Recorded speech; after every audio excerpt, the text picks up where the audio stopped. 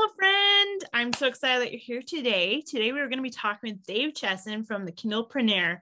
And I'm so excited because we're going to talk about keywords and we're going to talk about categories and also his program, uh, Rocket, and also Atticus. So I'm super excited about this interview. Let's just hop right into the interview. Could you tell us a little bit about yourself? Sure. Well, um, so I started writing years ago, back when I was um, a lieutenant in the Navy, and I was stationed on the other side of the world. And my wife and I were trying to figure out a way to get me out of the military um, and be home as a family. And so, being on the other side of the world, writing and self publishing books on KDP sounded like a really good idea because for me, I could write. You know, when I can, I even wrote my first book on a South Korean warship. Uh, and then when you send it over to Amazon, they take care of all the logistics. They yep. take care of sending the file, collecting the money, paying you, etc. And so I was like, this is awesome. From there, I started chronicling all about what I learned about the market. I really studied Amazon. I wanted to know why Amazon would choose to show one book over another and why is it that you know what can i do to get them to show my book more often and so that's really where my big website kindlepreneur started was talking and teaching about all the things i learned as i went through um, couple years later, I was able to build a software that I had always wanted myself um, called Publisher Rocket that helps authors to better understand uh, what's going on in the market, find the right keywords, the kind of keywords that actually help, uh, choose the right categories, know what money other books are making, and that sort of thing. And then just recently, because I had a phenomenal uh, software team and really learned software, I wanted to tackle another problem that I ran into as an author, which was, you know, writing and formatting a book. And, mm-hmm. you know, there's great formatting software out there called Vellum, but it only works for Mac users. Um, and on top of that, too, there was authors were using things like Scrivener and then exporting to Word, and emailing back and forth with an editor, and then uploading it to a software. I wanted to create something where an author could plan, write, collaborate, and format all in one and make it easy. And so that was my latest project, Atticus.io. Yay! Yes, which by the way, after 20, um, 20 books, I actually got Atticus and it helped me upload like my, I did my first, I'm, I'm doing a serial right now. So I did my first episode in there and I'm just like, this works perfect. Like oh, before cool. I was like struggling with like you know photoshop and mm. illustrator and um, indesign and it's just like oh my gosh wasting almost a whole week with formatting. So you saved me some time. Ah oh, super cool. Yes so happy about that. So i'm enjoying it and i'm excited too about like what's going to be coming in the future with atticus and i'd like to get into that a little bit a little bit later too but um that's so cool that you started out writing out on the ship and stuff and, and submitted your story and like that's where you started i love that yeah it was it really proves that you can write from anywhere. We were actually right. patrolling some very dangerous waters when I was writing that first book, wow. and and uh, uh, you know, there's there's a picture of me. I was in my navy camos, and I had my sea bag, and in the bag was the laptop that I was writing my first book, and so it's always that, you know, I was literally getting off a helicopter, a Korean helicopter, onto okay. a Korean destroyer. Um, so yeah, it was it was fun times. Oh my goodness. Yeah. Well, and thank you for your service as well. That's just oh, awesome. That was my honor. I enjoyed yeah. it. Yeah. That's awesome. Cool. Okay. And I always love to ask this question because it's always interesting to find out what people like to read. What are five of your favorite books that you've ever read? Oh boy. Um, are we talking fiction or nonfiction or both? It, it can be both. It can be either or. I know it's a hard question because there's a lot of books out there, but well, um, a book I just read recently that I've just been shouting its name uh, out every time I can talk to somebody is Red Rising uh, okay. by I think Pierce Brown is the name of the author. Um, I think it's my new favorite science fiction book of cool. all time. And my wife doesn't like sci-fi and she's not an adventure, but she decided to read it and she's gonna crush out the entire series now. So oh, go to figure. So she likes it, it. Oh, it's so good. Good. Um, that'd be my number one. Number two, uh, I like Old Man's War by okay. um, John Scalzi. I like Ender's Game by Orson Scott Card. For nonfiction, I'm going to throw in. Um, I'm going to say uh, Good to Great okay. is a great one. And my favorite biography would probably be Shoe Dogs uh, Oh, about the story okay. of Nike. So there you go. There's a smattering that I can come up with real quick. Yeah, no, that's perfect. That's great. Uh, I've read a couple of them, but I haven't read all of them, so I'm gonna have to I'm gonna have to check out those other ones. Thank you, because of course I don't have enough books. I need more. Yeah, that's true. Hey, Right. no author or writer ever has enough books. right, right, exactly. So true. Perfect. Okay, so um, so when it comes to just beginning your keyword research and everything, like let's say a first-time author is gonna start keyword researching, what are some things that you would recommend they start doing that would help them place their book in the correct place so that people can find them?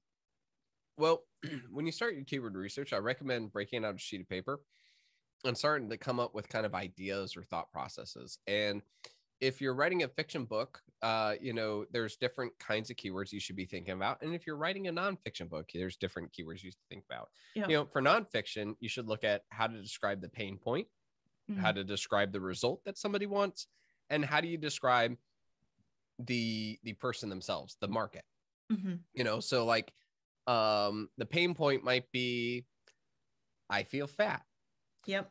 The result is i want to lose weight or fit Mhm. into a bathing suit Yeah. um the the demographic or the person that you're writing for might be like a single mom or it might be uh you know a busybody you know somebody who works a nine to five job somebody who has way too many kids you know not way too many kids but so many kids that they don't have time for themselves Right. like how do you describe the person uh, you can also even throw in another category of what i call exciters and exciters are words that you know excite the problem or excite the result or excite you know uh, and this could be like learn fast uh, five steps to you know um, easy like these you can add it to your uh, result you know lose Oh, weight yep. easily lose weight on your time lose weight Perfect. fast you know um, and so those are the kinds of keywords that really build out the nonfiction with fiction on the other hand it's like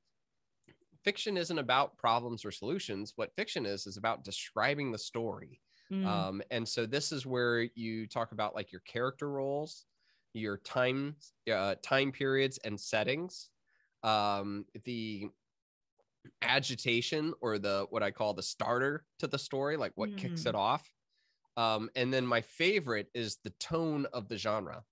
And what i mean by that is you know sometimes I'll ask a author well what's your uh you know what do you write and they're like oh i'm a romance writer i'm like what kind of romance well i write um contemporary you know and then they kind of fumble through it well Yep. let me tell you when you know what the tone is when you how you describe it it's incredible because in romance alone you can go from wholesome christian Yeah. to i don't know bondage or Yeah. whatever and there's a a whole Right. huge amount of words in between to describe the level of it. Same Yeah. thing with thriller. You can go from ooh, you know, thriller to blood gore fest, Yeah. you know, almost bordering on horror. Yeah. How do you describe that tone? And these are the ways that shoppers are looking for their works. Mm. And so I tell authors start with a pen and paper and start ideating based off of those things. Then start grouping them together and seeing what really fits. Now, using a program like Publisher Rocket, you can validate those ideas and you can even create more ideas and find out ones that actually will help instead of just kind of guessing. Right. Right. And then, so when people come up with those um, keywords, um, do you also recommend like um, searching in the search bar uh, in Amazon, kind of to see what people are searching, and then you know inputting those in your keyword, or you know if you have Rocket, like. By the way, I love Rocket. it's really been helpful. Um, so you can look those up and then input those into the keyword um, thing inside of Rocket, and see how they perform. Yeah, without Rocket, what you can do is you can take those ideas and put it through the search bar, and you can start kind of typing in and seeing what rock or what Amazon will show you in the search bar, and you Mhm. can start creating this long list of of you know uh, potential ideas and keywords. And you can go through that giant list, and you can start to look at the books that show up for it and see how much money they're making, and then kind of develop an average. Um, and then the final thing you can do is start looking at the competition, like how competitive are the books that are showing up for it. That's kind of the manual way of doing it. With Rocket, on the other hand, it does all of that like instantaneously for you. you can see, you know, you type in your initial phrase and it creates a whole giant list of all the other things Amazon has seen that's close to that phrase.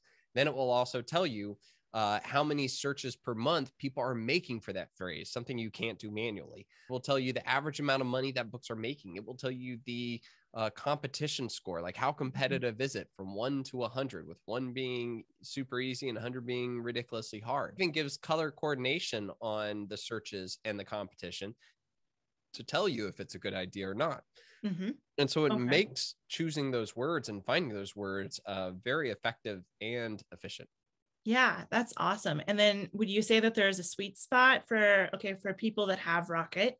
Is there a sweet spot um for those monthly searches or i know that um, sometimes and plus when they're you know if they're searched a lot they show up red and if they're a good amount i think it shows up green what is it i think actually what's really cool about our color coordinating especially for the estimated searches is yep. that it figures out if that phrase is one where people will buy the book for um, yeah, and it helps okay. to use that to to do it so for example um, say you look at the keyword phrase of fantasy book okay. okay yeah there are a lot of people that type that in but rocket knows because we have this whole analysis database it knows that most people don't buy a book for that search because what happens is they're like, oh, what's the chances that Amazon's going to show you the exact kind of fantasy book you're looking for when you type that in? And they're like, ah, oh, crikey, I'll go back and I'll add something to what I said. Yeah. Um, you could do this for romance. You say romance book, and all of a sudden, the, you, you see a whole bunch of covers of men with their shirts off. You're like, oh, good, good lord, no, no, no.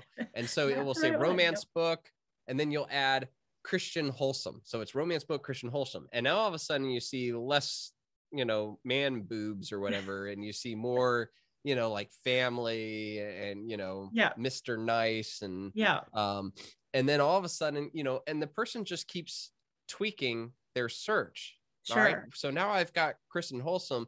I like the prairie. So, you know, we'll call yeah. it like a Western. Oh, nope, that went cowboys. Let me change that. Let me go to prayer on the prairie, you know, or Rocket will actually start to figure out, and you may see that the phrase is something like uh, romance, Christian, wholesome on the prairie. It may have less searches than, say, romance book. Rocket will give that one a green and still show you that's a good phrase because that's very descriptive. It, it's cool. proven to make sales, and so it helps to guide you in those decisions instead of seeing something and be like, "Wow, that's that's get searched. I should choose that." that's not going to help you with your book. And so it really goes above and beyond to help make that choice easier. Wonderful. Thank you for going into that a little bit because sometimes it can be a little tricky to know exactly what that might mean or not. yeah, absolutely. So, perfect. Okay. And then uh, what are some things that authors should keep in mind when it comes to categories?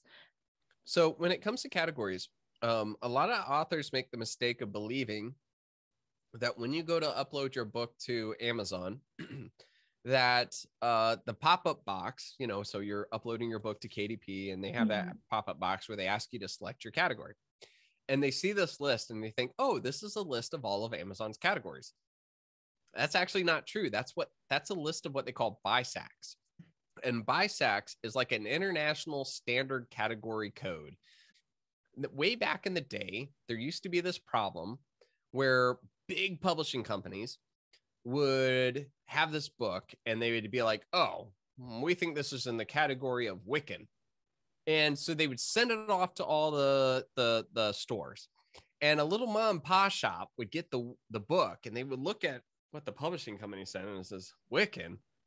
Well, we got eight, you know, um, we got eight aisles, you know, or bookshelves to, to figure out where to put this book. Um, hey doris what is wiccan? Uh i think that's fantasy. Okay. But it was actually religious studies. Yeah.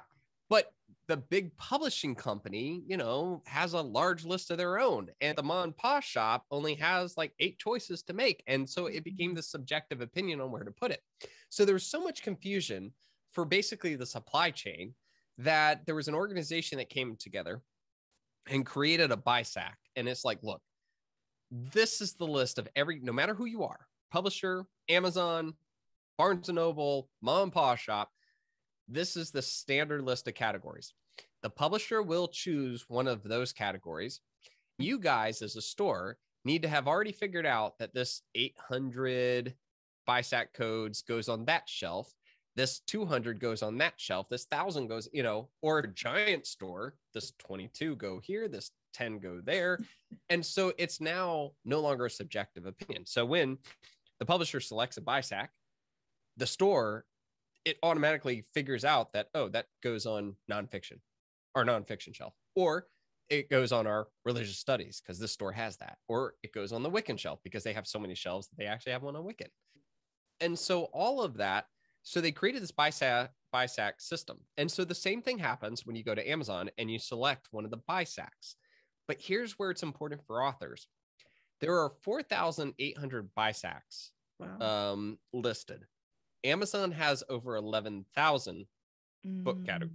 categories. So, what this means is that if you're just selecting one of those BISACs, you're doing two things. One, you're selecting from the same 4,800 that everybody else selects from, which means that other 6,000 plus is not being touched. Okay. Wow. Um, mm-hmm. so most of the least competitive categories are the ones that aren't listed on the BISAC. But the other thing too is you're leaving it up to Amazon to choose where to kind of put you. Um, so you might select a BISAC, and this is what happens to a lot of authors is they'll select two BISACs, and then some you know they'll find out that they were put in some weird category. I didn't ask for that. That's what amazon did.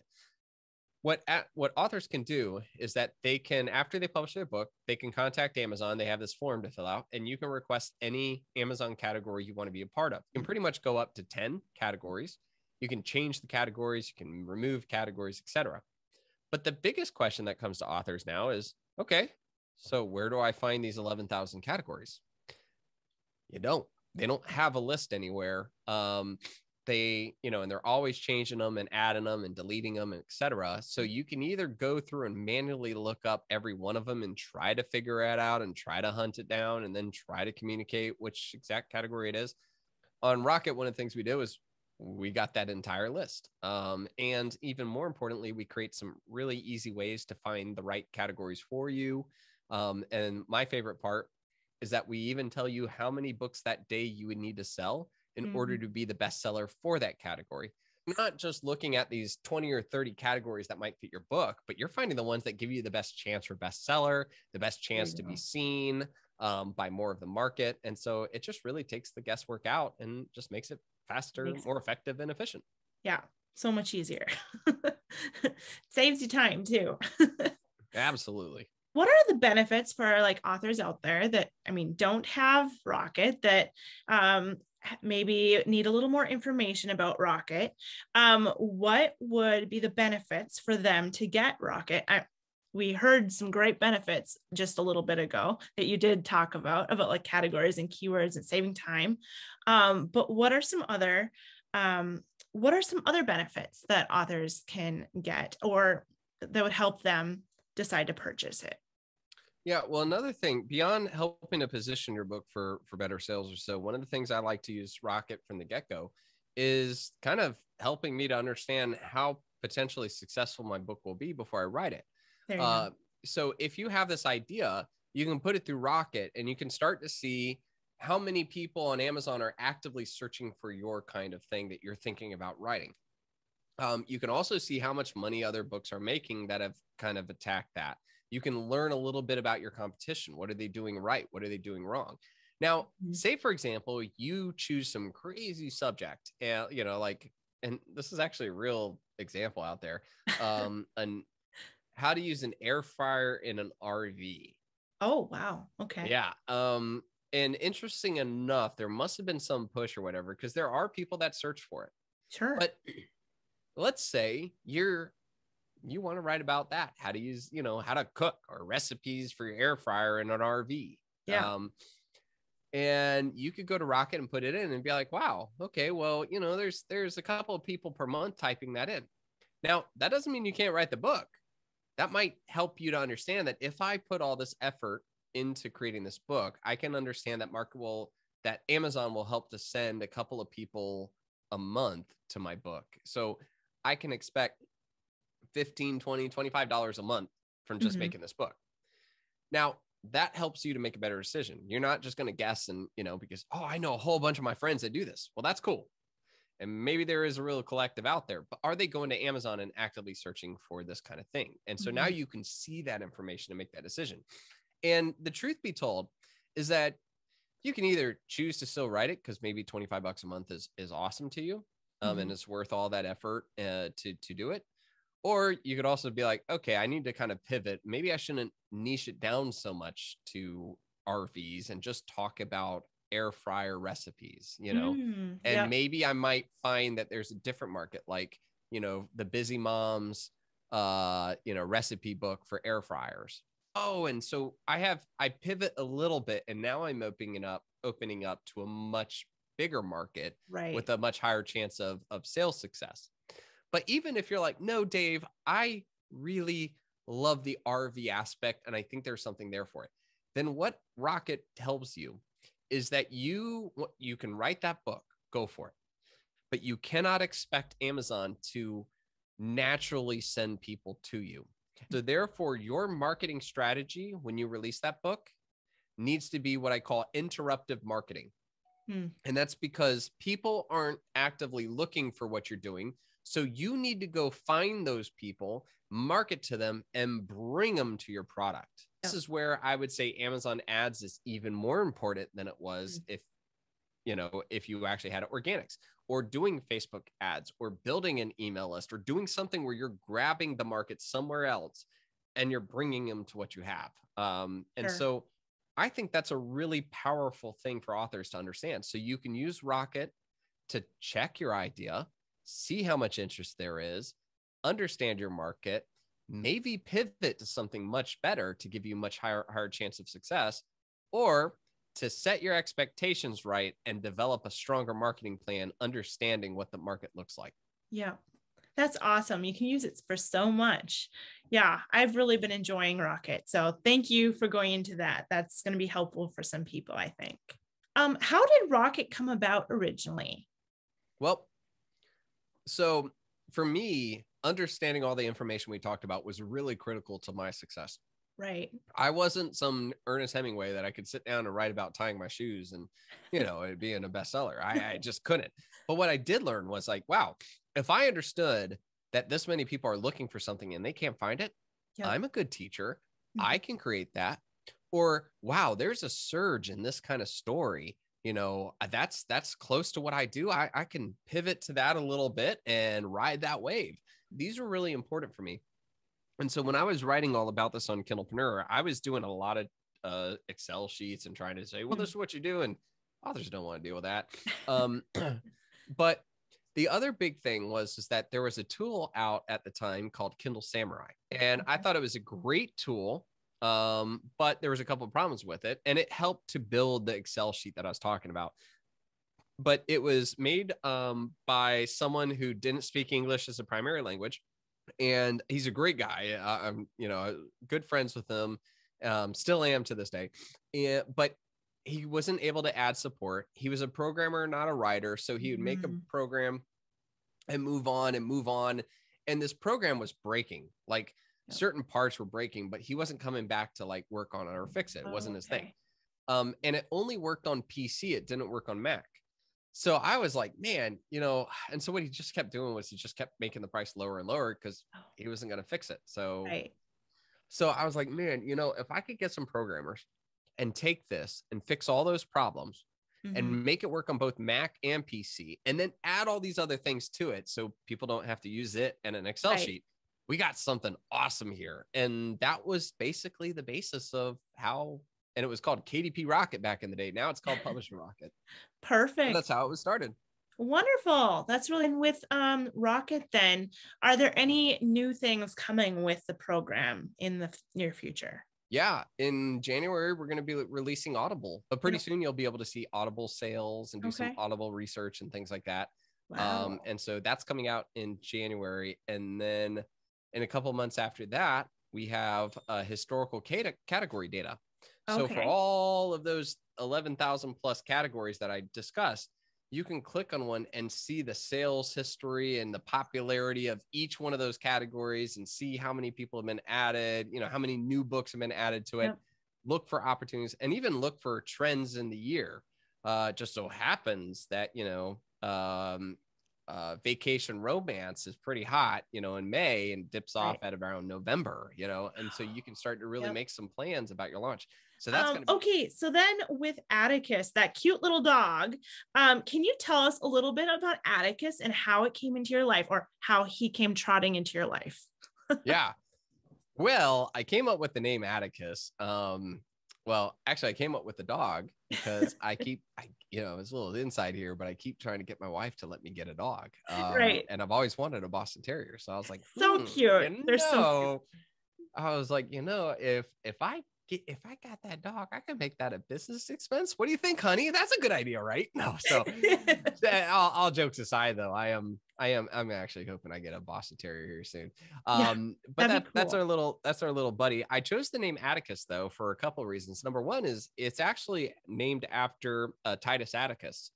Titus Atticus was one of the major publishers uh, of works way back in the Roman Empire. Um, and a matter of fact, he's credited for saving Cicero. He, he's the one that published letters to Cicero, but he he mm. saved a lot of the works of Socrates, um, you know, and, and made it so that we never lost that.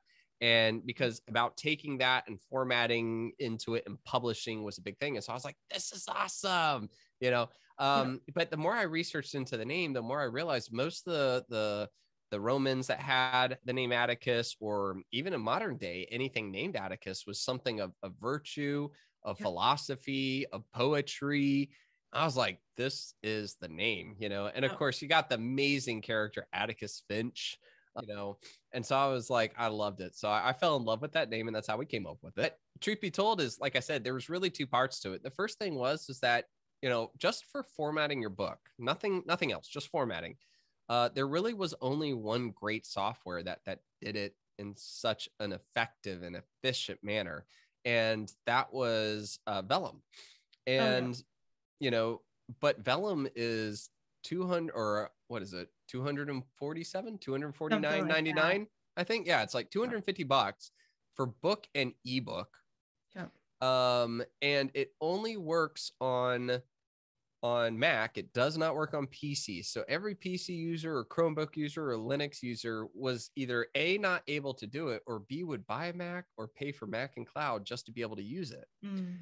And, you know, this was like, I do love my Macintosh computer, you know, yep. but I would hate to have to buy a PC so I could use yeah. a program. And, but that's how good it was. So I, the first thing I thought was, all right, first off, if we could take Vellum and make that work for all computers. And there's a whole bunch of features I would like to add to make it better. Yeah. Let's do that. And let's make it more than $100 cheaper. So that's what we did. We created that formatting. It's $147 ebook and book. Um, it works on all computers. And there's a whole bunch of features that that I've been wanting for a long time. Um, and we're just adding more to it. But truth be told, is, is that this is not like Atticus isn't just a formatting software because the true pain and where I want to take this company to is that I, as I write my books, I would use the software for organizing my stuff. Then mm-hmm. I'd use the software for writing my book. And then I would have to export it out of that software and email back and forth, back and forth with my editor and have seven or eight different word files on my desktop that say final something in it.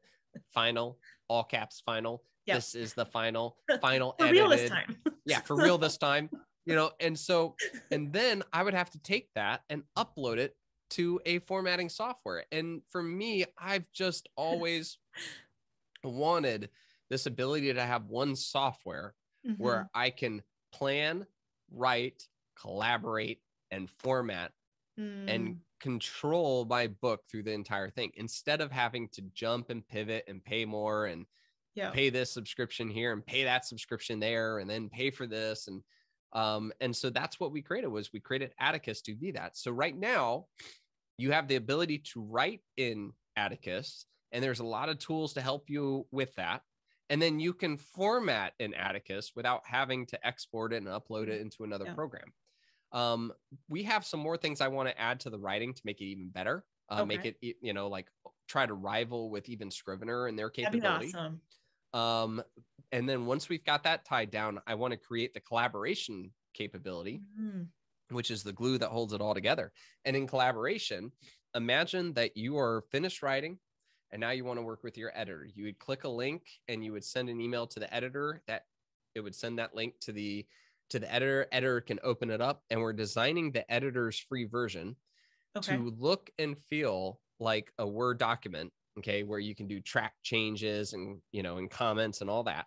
Perfect. So for the editors, it will feel like what they're used to. But there's a couple things that we know editors want, and so we're Mhm. adding that to theirs to make it even more powerful for oh, them. cool. But for you, the author, though, uh, you can look at your Atticus without having to look, you know, leave it, and you can see the editor make their recommendations, and you can accept, you can, you know, uh, Oh, nice. decline, you can comment, you can communicate back and forth with them, you know, and then you can walk off and come back and then see what else they did and go in there. And by the time you're finished working with them, the best part is this is that you can then secure their access to your book remove Mm, them from it and continue in your process and again Yep. never having to leave the software That's nice.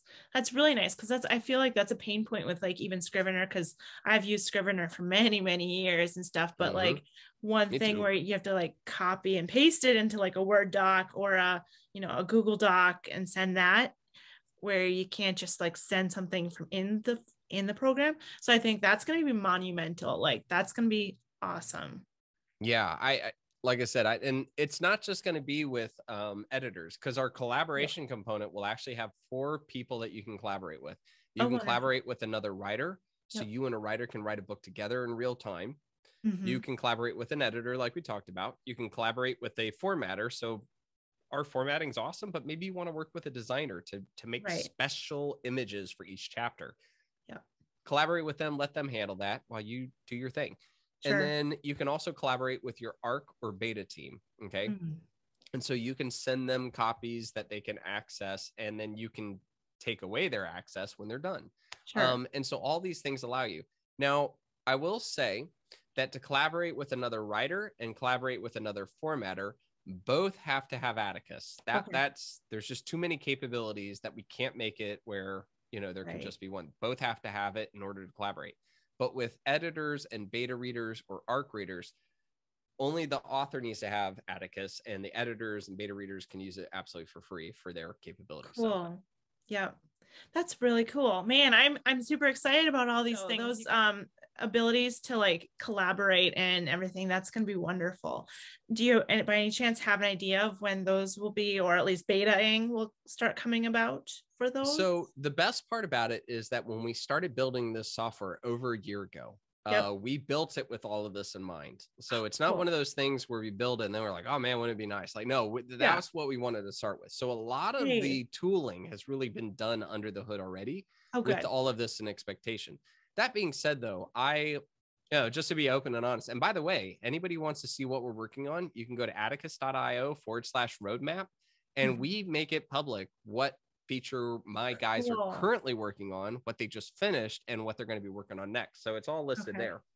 cool. Um, but when it comes to software, it's like super hard to nail down. So Yeah. I'm going to speak in generality here, but for the month of December, uh, there's a bunch of things that we want to clean up on to make stronger and secure in the platform to make it so that we can then handle things like we're talking about. sure. There's a bunch of features I want to add. We'll have a brand new previewer that's going to be like on steroids. It's awesome cool. that's going to allow us to do even more. Um, that will then allow us to be able to work with Pro Writing Aid and Grammarly, and we're also going to be we're trying to work with Dragon Dictate so that it works easily inside of that as well. Um, so there's all that's happening this December, and then in January, um, we have a bunch of writing components that we want to add. Um, that'll be really big in there as well. I think that the team will finally start really gearing up and hitting uh, collaboration with you know 90% of our efforts in the beginning of February. Yay. Okay. I can't speak exactly when it will come because it just comes down to at that point what kind of roadblocks do they run Yeah. into. But I mean, we're not we're not talking like you know over half a year from now or anything Sure, like that. We're not even talking years. Sooner than Um, later, right? Oh, way sooner, yeah. I think for authors, we've gotten so accustomed to having things take forever to get. I mean, Yeah. like look at like Scrivener, right? Scrivener Yeah. came out with Scrivener 3.0 for Mac. What was that? Four years ago, yeah. and then just this year they finally created 3.0 for PC. right. So Yeah. we're not talking years. No. Okay. Yay. That'll be exciting. That's really good news. That's why I've got a full team of seven programmers working on that around the clock. So Oh my gosh. Well, that is so exciting though. And I bet you're just super proud of both of these products because they work so well and you've got a lot of vision for their future and everything. So that's great. And thank you for making them. Yeah, no problem. Like I said, I, it's super fun to be an author who has programmers working for him. I can like literally be like, man, I, I wish I could. Hey guys, let's go do that. You know, I was like, uh, here's the here's the other other thing. One of my favorite features that we came out with Yep. uh, for the formatting alone is that I've always wanted to be able to control where the book opens up to in a Kindle. So when somebody opens my book up, right, Amazon automatically puts them on chapter one. Mm, Well, maybe I want them to go to my offer page first, Yeah. you know? Um, so if I write a nonfiction and I want them to sign up for the companion course, I really would like the first page to be like, hey, go to this link to, to download the notes, you know, and blah, blah, blah. oh, um, that's great. Or the other thing is that if I'm in KU, I'd prefer them to have to go through the prologue, you know, or these other points, you know, before they start the story. Well, if you don't have special coding for that, Amazon just starts on chapter one, and everything you did before that will not be read. So uh, we found that there's coding that you can do. So we made it super easy Oh, now that in Atticus you can select where you want the book to open up to anywhere, and boom, when anybody on a Kindle opens up your book, it will start right there. And so it's just like, like I said, as an author, I've like been pining for this uh, Yeah. for a long time. So I'm just really jazzed that you know I could just be like, hey guys, can can you guys go figure that out? Figure out how to do that. Hey, we did. Sweet. Yay. Yeah, So that it's is just, that's it's just a lot of fun. great. Oh my word. That is wonderful. Cool. Okay. And then let's see here. The next question here. Um, let's see. We talked over that. Okay. And then um, so okay, I always like to ask this question when I do interviews, but um, how what is the most difficult thing about being a writer or and or working in this industry for you? Hmm. Well, Have you found? I think, and this would be the advice I'd give for about 80% of the authors out there, Okay. is that in when it comes to marketing a book, there's like thousands of different ways to do it. Yeah. And truth be told, all thousand of them work. Like it really does. Um, you will be on Facebook and you'll see somebody talk about how I made millions with TikTok, and then you'll see another one with Pinterest, and another one that says you need to be doing this, and if you're not doing that, you know. And so, what can end up happening for for authors is you feel like you got to do it all, Mhm. um, or you're like, oh, okay, I failed in all these other things, or these other things didn't work. This might be the key. And so, what an author will end up doing is one of two things. They either a dabble in everything and they spin their wheels and they work super hard, but they get nowhere because they're just dabbling. Okay. Mhm. Or B, they try something, they don't see immediate success, so they pivot. And then they try something else and then pivot and pivot and Oh. pivot and they pivot in circles. But both of those just get your wheels spinning and make you go in circles, and you don't see a very good ROI on your time. So, my biggest recommendation to authors is, especially when you're starting, choose three or four marketing tactics and stick to them. Okay. Stick to them because when you master those tactics, okay, and treat it like a skill, your writing career will benefit so much more on being really good at uh, certain things instead of trying to do everything. Right. And I would say maybe for the first book, you worked super hard on three. So then on the second book, you add a new one. Now you have four. Then the next book, you add a new one. Now you have five. And mm-hmm. all of a sudden, you're going to really incrementally build your capability and eat the success and the reach of each book. And I think that makes a much better author as a whole than it is to dabble or pivot and all Yeah. the things that are out there.